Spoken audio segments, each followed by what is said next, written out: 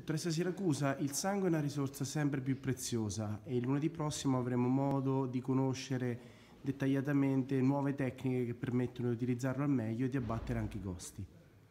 Sì, sicuramente sì. Questo convegno ci darà tanti spunti alla riflessione, ci darà modo di mh, poter verificare con i nostri colleghi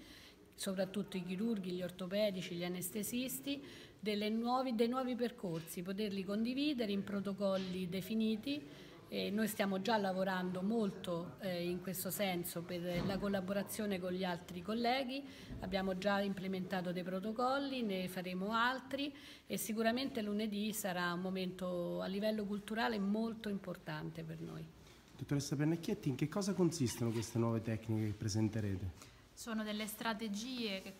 per gli addetti ai lavori chiamiamo multidisciplinari eh, centrate sul paziente di carattere farmacologico e non farmacologico che attuate ci consentono di andare a, ad individuare quelli che sono i fattori di rischio modificabili che se corretti ci aiutano ad evitare quelle che sono le trasfusioni evitabili, quindi eh, individuare i fattori, correggerli prima, eh, prima di arrivare a un utilizzo non appropriato della risorsa sangue, che come sappiamo è un bene prezioso e, e limitato, quindi è grazie ai nostri donatori che riusciamo eh, ad avere del sangue e a mh, poterlo mettere a disposizione dei pazienti che per le proprie